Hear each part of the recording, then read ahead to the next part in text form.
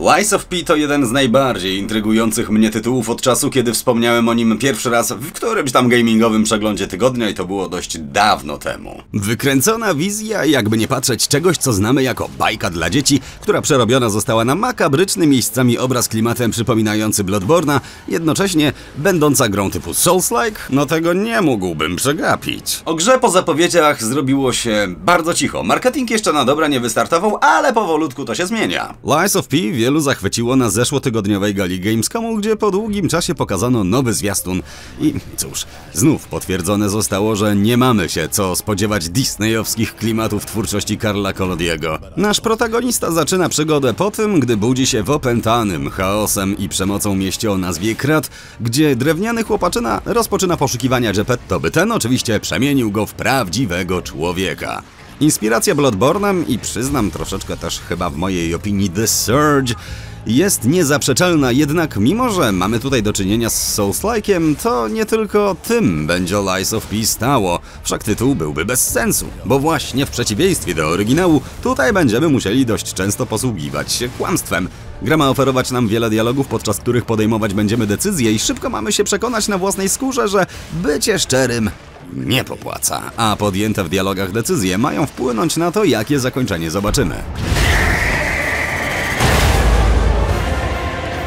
protect, fulfill.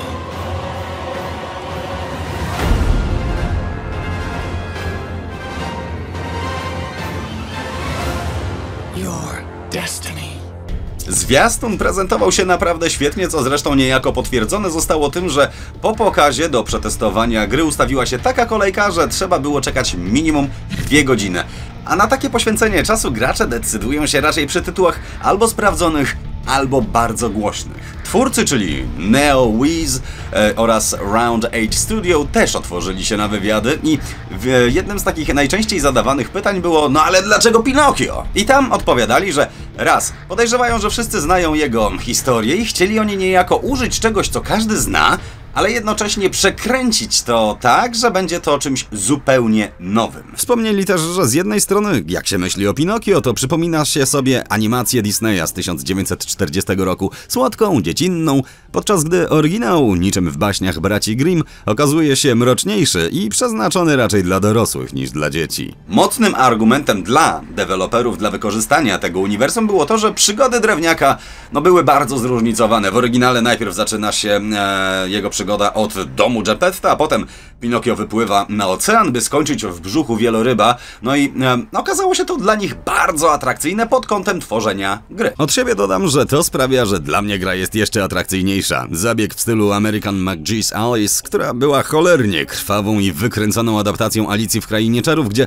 chore wizje twórców zmieniają bajkowy świat o 180 stopni, to coś, co bardzo mocno szanuję.